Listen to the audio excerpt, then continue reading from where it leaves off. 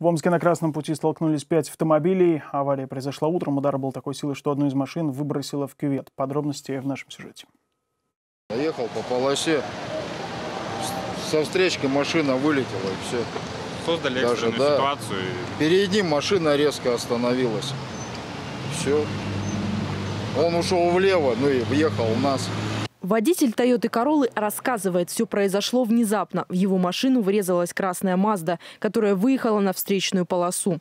Именно эти два автомобиля пострадали сильнее остальных. Переднюю часть машин сплющило. Удар был настолько сильным, что Мазду вновь отбросила на свою полосу движения. Там она столкнулась с Мерседесом, а тот, в свою очередь, отправил в кювет Nissan.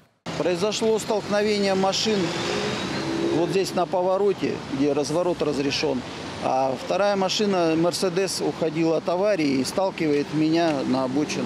Еще одним участником ДТП стал водитель ВАЗа. В него врезалась столкнувшаяся с Маздой Тойота Королла. А, По средней полосе я ехал, не превышая установленной скорости. Ну, например, полтинник ехал.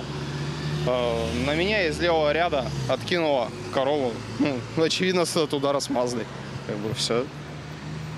Как бы попытался остановиться, ну, насколько возможно. На место ДТП выехала следственно-оперативная группа и машина скорой помощи. К счастью, медицинская помощь водителям не понадобилась. В результате дорожно-транспортного происшествия водитель автомобиля Toyota Corolla, мужчина 1977 года рождения, также его пассажир, женщина 1988 года рождения и пассажир автомобиля Mazda, 11-летний мальчик, были нас- осмотрены медицинскими работниками на месте дорожно-транспортного происшествия, после чего были отпущены. Из-за массовой аварии на Красном пути образовалась двухкилометровая пробка. Окончательно причины ДТП установят в ходе проверки. Елизавета Васильевич, Евгений Русенко, Анатолий Серов. Новости здесь, Омск.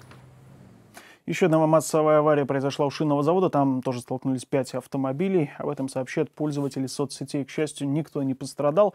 По словам очевидцев аварии, виновник ДТП уснул за рулем после ночной смены и спровоцировал столкновение.